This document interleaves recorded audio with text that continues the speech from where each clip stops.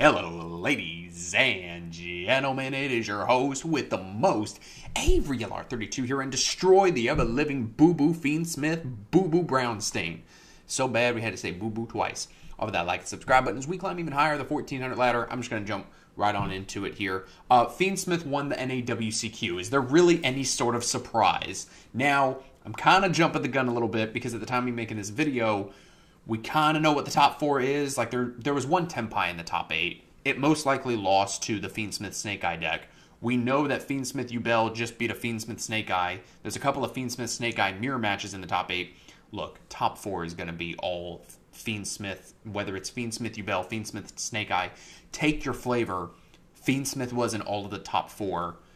That's what won nationals. Whether it's Fiendsmith Snake Eye, Yubel, who cares, whatever Fiendsmith won our nationals. And I'm actually really happy about it. And the reason why I'm happy is because this shows Konami, hey, here's all the representation, here's all the data. There's a YCS, I think, in like California, August 17th and 18th. We'll probably get the ban list dropped after that event so that people can properly play test for said event. Um, and then we'll go from there into a brand new format. And the more representation that there is for Fiendsmith and then anything Snake Eye or Yubel related, we can hopefully see some hits to those decks. More Snake Eye than anything because I feel like Yubel. I feel like it's balanced. Like before Phantom of Yubel, it was kind of lacking. It was a solid rogue deck, and then Phantom made them a lot better. But I think the Fiendsmith cards is really what pushed it over the edge. Like, a Fiendsmith is just such an incredible engine. I don't need to sit here and tell you how broken the cards are, right? But we did see some interesting things, especially in the top 64. Here's what's crazy about that. Fiendsmith took up a majority of top 64 for the most part. I think it came out to like 30%, 29%, somewhere around there.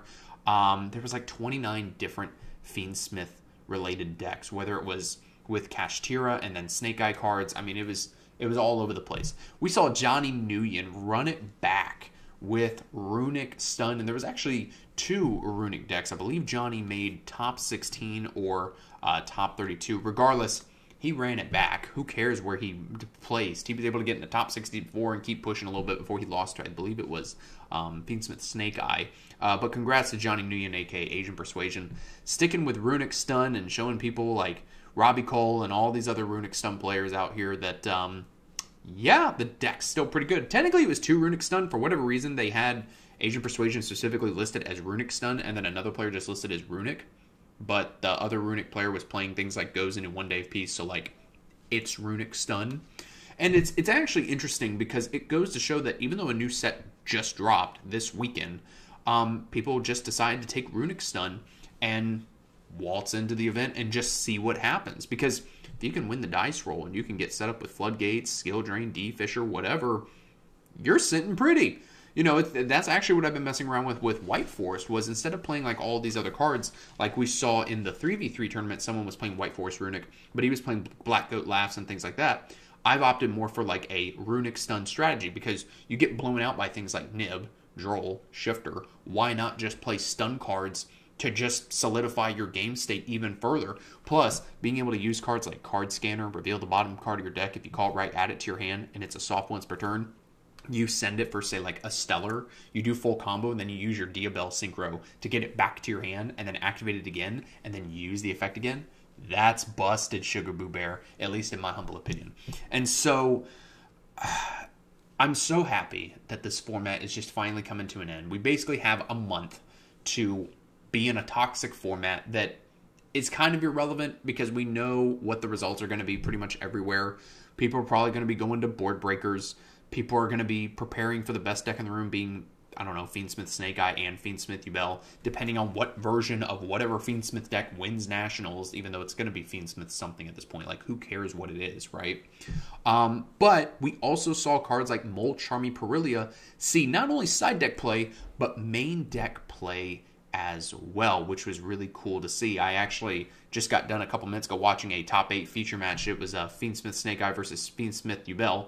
I'd rather watch paint dry, but it was cool to see the Snake Eye player use Purulia and the Yubel player had Called by the Grave. But the idea is there, and I do think the more that I've tested around with Purulia, uh, Molcharming Purulia, it is a very good card. It's a very side deck dependent card I don't feel like it's a main deck type of card, but being able to side deck it, I think, is really good. And we also saw things like Phantomaze, where, you know, I saw, who was it? Uh, the guy's name was Adidio, whatever his last name was, but he used uh, Purulia, and then in the same turn, he used Phantomaze, and he was able to draw a couple cards. His opponent had a Moon of the Closed Heaven up. So just being able to draw even more cards, and then, of course, you're drawing for turn, and as long as your hand size count plus six doesn't well, the opponent's field plus six. As long as that doesn't exceed what's in your hand, you're going to be keeping all those cards. So it really doesn't ever come up. So all of that was really interesting to see tech wise. Now, of course, we got to talk about the biggest gear in the room Ancient Gears making day freaking two. Currently, Ancient Gear Fortress, which is basically a Sangan summoning and the Gimmick Puppet field spell having a baby, um, it's currently like 17 to $20 right now.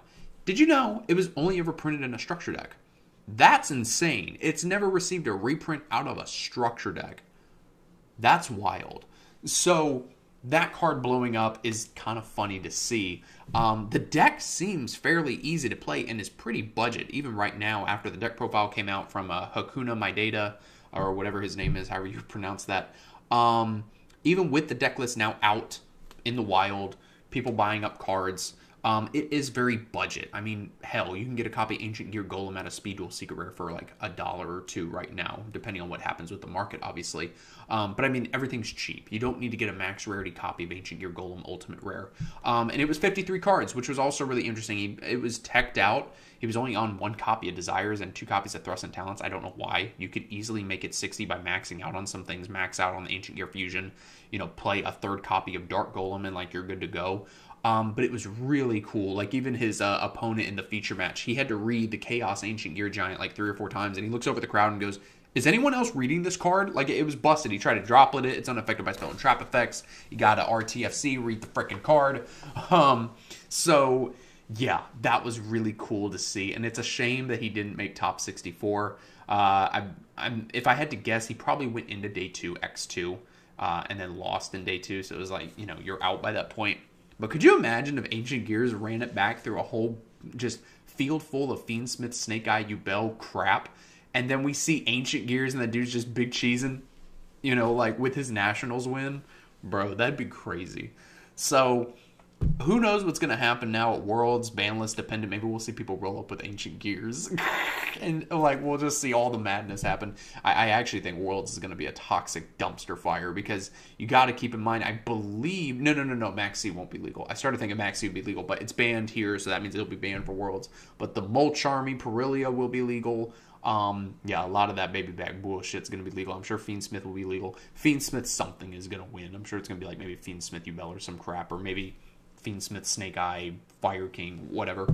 It's it's toxic. I'm so glad I didn't go to nationals. I did not want to have to go that whole way to Texas just to get my ass cheeks blown out of the venue by Fiend Smith garbage. Even though I pulled a whole core out of my case, but I think I would have just rolled up with like White Woods, Runic Stun, or White Forest, whatever it's called, and just had a good time. But Fiendsmith uh, has won the YCS. If the one dude that made top eight with Tenpai somehow wins, then I'll take this video down. But I'm sure at this point it's going to be Fiendsmith, either Fiendsmith Snake Eye or Fiend Fiendsmith Yubel. Who gives a shit what it is? It's Fiendsmith something. So thank you, Konami, for giving us the Tier Zero deck. Oh, the last thing I wanted to mention. so one of the writers for TCG Player had the balls to say out of like 2,000, almost 2,700 players, whatever it was, 2,653, I think, they did a pie chart and they showed what all the decks were in it. So it was like over 30% of all those players were playing Snake Eyes. But then they're like, oh, look, 64% or whatever it was of other. Like it's not even classified. And they're like, it goes to show that the other decks in Yu Gi Oh! can compete with the best in the room. And it's like, you're gonna, you have to take, think about that. Over 2,000 players, you have to create a pie chart out of almost 2,700 players to finally get a graph that is not just here's all of the Snake Eyes and Snake Eyes is clearly the best deck. It took you surveying everything in that venue and putting it in other, which could be anything, right? And compare it to Snake Eyes among with like all the other like three, four, five percent of decks that made it in, like Gimmick Puppet, Labyrinth, Runic, whatever, right? Like those decks are named, but then you have the other. So someone walks in with Beaver Warrior Beatdown and they're considered other. And that's how you finally got your fucking pie chart to be bigger than the Fiend Smith, Snake Eye, and even Fiend Smith, like Yubel stuff. Well, actually, if you include that, it's even bigger. But let's just say Fiend Smith, Snake Eye to make it bigger than that half of the pie chart. That is how toxic this format is. That is how bad this format is. And as I've said before, out of my 16 years of playing competitively, I've been through Teledad, I've been through Dragon Ruler, I've been through Necros, I've been through all of these dog water formats. This is the worst format of all time, even worse than tier. Because at least with tier, if you hit the shifter, or if you are just in the mirror match and you have a shit ton of Bystials, you at least stand a chance. You can't even use Bystials in the Fiendsmith Snake Eye mirror match. Like, sure, you can hit Fiendsmith cards, but like you're not hitting the normal summon of Snake Eye Ash. And if you're wasting your hand traps on that, then you're just crapping yourself all over the floor because you're just going to lose anyway if you're not stopping the Snake Eye combos. So this is the worst format of all time. I don't care what anyone says. I've always said that Dragon Rulers was a terrible format. I still think it's a terrible format, but this format is absolutely terrible. I'm sick of it and I'm ready for a new list. And I could not be happier to see that Snake Eyes and Yubel and all that is the best decks in the room. Just means that they're going to receive great hits on the ban list. In Konami, in Konami, I trust. At least this once. They could absolutely fumble the football and say, hey, here's our pie chart that says other, like 64%, whatever. Hey, that's more than Snake Eyes. This is a healthy format, guys. Let's just wave our hands and dance with our little pom poms while Billy Brake and whoever the other dude is gives terrible commentary. I'm sorry, but the commentary that these guys do is garbage. I'm sorry, Billy. I love you. You're cool.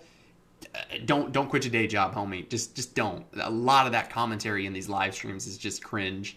Uh, your boy could do better commentary, and I used to work for a television station, so I know how to commentate. I know how to talk. I make YouTube videos. Your boy knows how to ramble. Guys, let me know what you think about all this and more down in the comments below. Cannot wait for a new balance. So I'm gonna sit back, relax. I'm gonna go grab me a beer while we wait for this new format. Thank you guys for watching, and I'll see you in the next video.